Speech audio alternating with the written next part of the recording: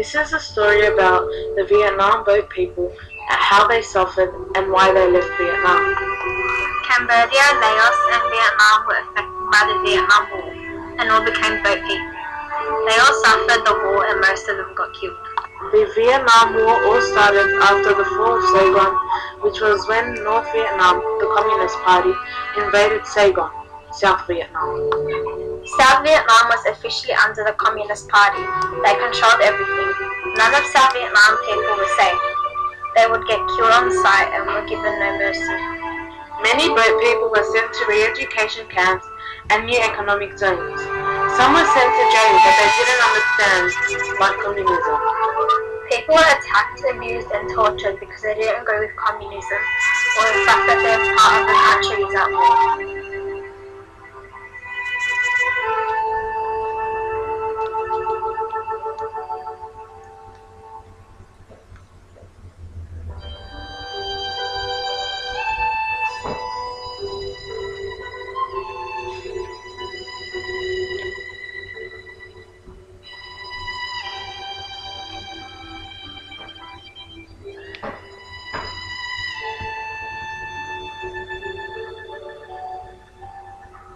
Due to the war, many homes were broken down. Many people in poverty and South Vietnam was destroyed, so no one could live safe. This caused many people to escape and leave the country on boats in search of a safer living. While being on the boat, many people were starving for food and water. Many were diseased with many different diseases.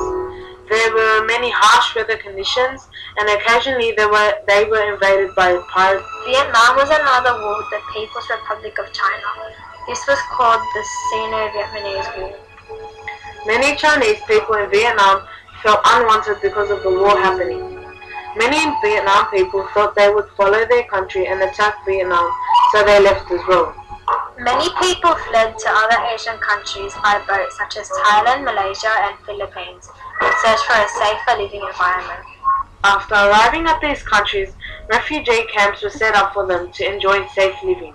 Vietnam is now split into two, North Vietnam, communism, and South Vietnam, capitalism. Both nations don't talk in their ways.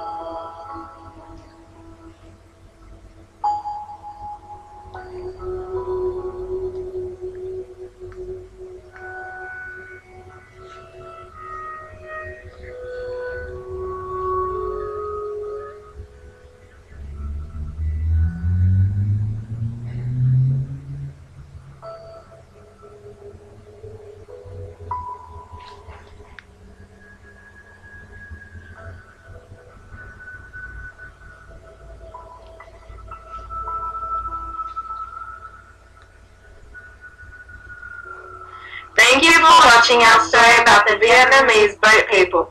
Bye, Miray and Chantal. Love